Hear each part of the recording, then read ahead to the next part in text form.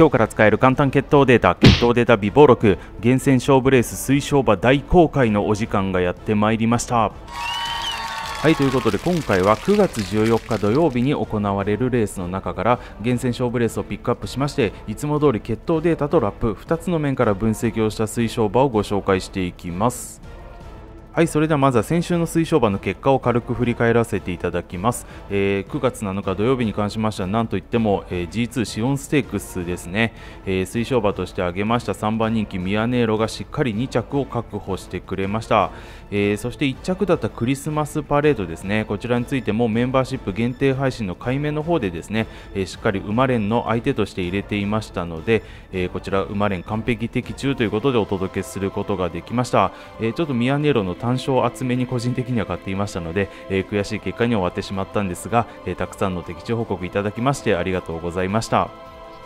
はいそして9月8日日曜日に関しましては4頭の推奨馬を上げさせていただきまして、えー、1201という結果でした、えー、唯一馬券外に沈んでしまった1頭も4着ということで、まあ、ほぼほぼ完璧な推奨馬を上げることができたんじゃないかなと思っています、えー、その中でも実セントウルステークスですね、えこちら推奨馬として挙げた東進マカオが強い競馬で勝ち切ってくれました、えそしてメンバーシップ限定配信で挙げている印の方からですね、え対抗で2着だったママコチャを上げていまして、えー、推奨していた海面の方からもしっかりた、えー、単勝と馬連ですね、えー、完璧的中をお届けすることができました、えこちらもたくさんの的中報告いただきましてありがとうございます、えそしてなんといってもですね、え京成杯オータムハンデの方では、え9番人気と低評価だったセルバーグを思い切って推奨馬と挙げたんですが、えちょっと惜しくも4着という結果でした、え3着来ていればですね1着だったアスコリピチェーノとのワイドもですね、え推奨していましたので少し惜しい競馬に終わってしまったかなと思っています。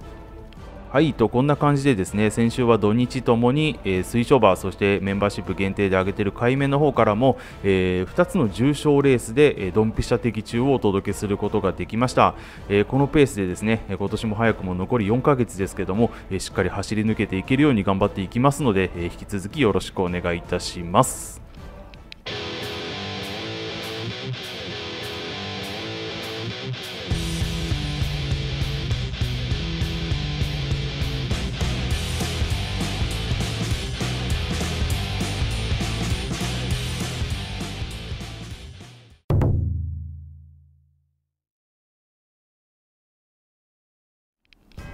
はいそれでは9月14日土曜日の厳選勝負レースはご覧の通りです、えー、中京3レース中京9レース中山10レース中山11レース、えー、こちらの4つのレースを厳選勝負レースとしてピックアップして推奨馬をお届けしていきます、えー、なおこの動画では中京3レースと中京9レースの推奨馬を公開させていただきます、え中山10レースそして中山11レースの推奨馬につきましては、えメンバーシップ限定での配信とさせていただきますのであらかじめご了承ください。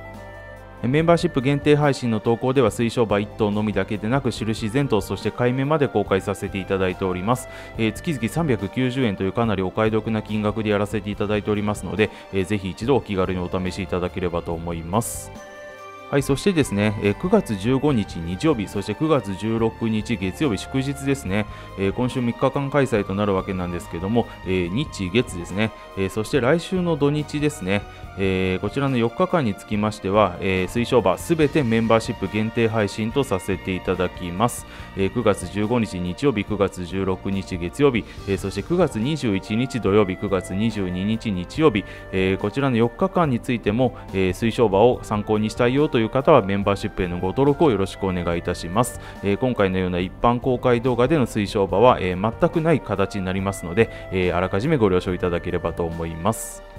決闘データ備忘録メンバーシップ月々390円でいつでも解約可能となっております、え中央競馬開催がある日についてはほぼほぼ休むことなくメンバーシップ限定配信の推奨馬予想をお届けさせていただいております、え、先週は土日ともにですね重賞でドンピシャ的中をお届けすることができました、え、そして今週、え、日曜日と月曜日そして来週の土曜日日曜日、えこの4日間については、え推奨馬予想すべてメンバーシップ限定配信となりますので、え、ぜひこの機会にメンバーシップップへのご登録をご検討いただけると幸いです。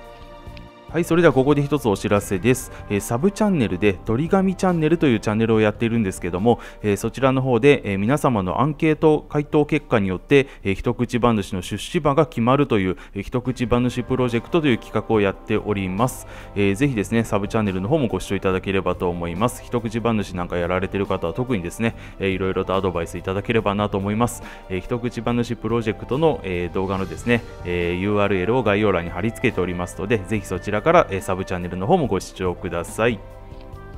はい、それでは水晶馬の発表に移っていきます。えー、まずは中京3レースですね。えー、芝 1600m で行われます。牝馬限定の2歳の未勝利戦ですね。えー、こちらのレースで推奨させていただきますのは、え2枠3番ドラゴンガールですね。えちょっとまだまだ人気読めない状況で動画の方を撮影しているんですけども、意外と人気ない形ですかね。動画撮影時点では現在10番人気となっております。えー、前走ですね、えー、中京芝 1400m のレースで3着と、まあ、構想しているんですけども、えー、ちょっと人気ないのかなといった形ですね、えこのドラゴンガールエピファネイア3区なんですけども、えこの中京芝 1600m で前走上がり3ハロン3位以内の末足を叩き出している場合、えご覧の通り高い構想率を叩き出しております、え前走新馬戦で上がり3位の末足をマークということでこの構想データに合致する形となっております。前走芝 1400m の新馬戦で3着と、えー、まあ、最後差し込んできたわけなんですけども、えー、重馬場の新馬戦としては前半そこそこペースが流れた展開になりまして、えー、ちょっと最初ついていけない感じで後方からのレースになってしまいましたね、えそんな中で最後差し込んできたというところを評価してですね、まあ、今回前半が緩くなりやすいマイル戦へ、え変わってくる距離延長になるというところはプラスなんじゃないかなと捉えています、え血統的にもエピファネイア3区ですしデーサイレンスのうちを内包ということで、まあ、両馬場になればですね、えー、さらに決め手が、えー、より強い決め手が発揮できるんじゃないかなと今回想定をしております、えー、前走のパフォーマンスからするともっと高い馬がかなり他にもいそうなんですけども、まあ、距離延長と両馬場代わりでこの馬もかなりパフォーマンス上げてくる、え可能性が高いんじゃないかなと見込みまして、えちょっと人気なさそうな感じでもありますので思い切って推奨馬として上げさせていただきます。はい続きましては中京9レース芝 1400m で行われます、えー、2歳のオープンクラスですね、えー、桔梗ステークスですかね、えー、こちらのレースで推奨させていただきますのは、え、1枠1番メイショウツキヨですね。えー、こちらの名称付きをアドマイヤマーズ産駒なんですけども、えー、もちろんまだまだアドマイヤマーズ産駒、えー、データが揃いきっていないところはあるんですけども、えご覧の通りですね、え基本的には距離短縮でめちゃくちゃ走る、えー、種牡馬なのかなといった形ですね、え前走中京芝 1600m の未勝利戦で1着から今回、え 1400m への距離短縮ということで、えこのデータに合致する形となりますし、えこの馬お母さんも、えお母さんのお母さんもですね、え短距離で活躍したした馬ということで、え、今回の距離短縮は大歓迎なのかなという決闘背景になっております。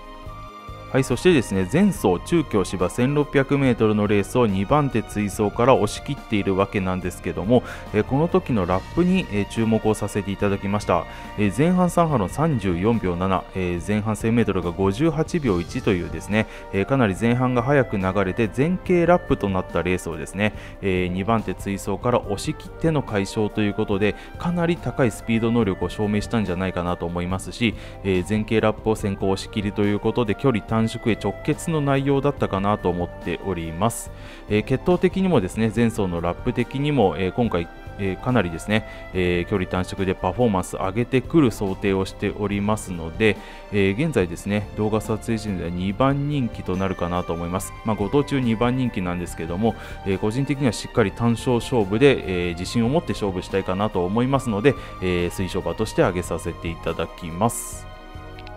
はい以上この動画では中京3レースと中京9レースの推奨馬を公開させていただきました、えー、中山10レース中山11レースの推奨馬につきましてはメンバーシップ限定での公開とさせていただいております、えー、メンバーシップ限定配信の投稿では推奨馬1頭のみだけでなく印全頭そして海面も公開させていただいております。すで、えー、に YouTube コミュニティ内にメンバーシップ限定ですで、に投稿済みとなっておりますので、えメンバーシップにご登録していただいている会員様は YouTube コミュニティ内の、え投稿画像にて推奨馬予想をご確認いただければと思いますはい、そして冒頭にも申し上げましたが、えー、9月15日日曜日、16日月曜日、えー、そして9月21日土曜日、22日日曜日の水商売については、えー、今回のような動画で公開することは一切ありません。す、べ、てメンバーシップ限定での配信とさせていただきますので、え、大変申し訳ございませんが、水商売、え、参考にしたいよという方はメンバーシップへのご登録をよろしくお願いいたします。